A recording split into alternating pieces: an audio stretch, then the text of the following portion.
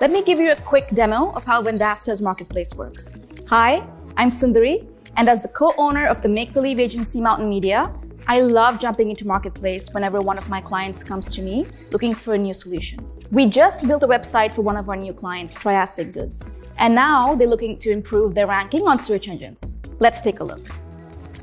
Vendasta's marketplace has hundreds of products and services that we can resell to local businesses.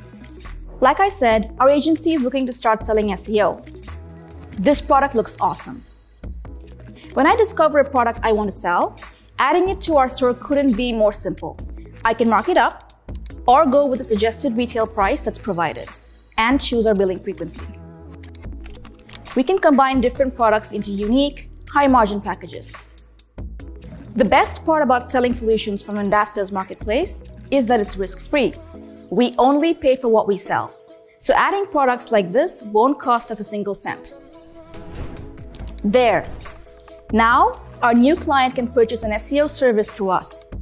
We get a great profit margin and fulfillment is handled by a trusted vendor who'll do an amazing job with my client. My sales team can go to market right away with the included sales and marketing materials. Many of the products offer trials and free express versions. That way, we can start building trust with new local business clients without any upfront investment. Vendasta includes a set of express website, e-commerce, reputation, listings, and social media marketing tools. We simply provide our clients with our own URL customized to our company, and bingo! Clients will have access to all these tools for free. As our clients use these Express apps, they'll begin to notice that they can upgrade to Pro versions that unlock new features.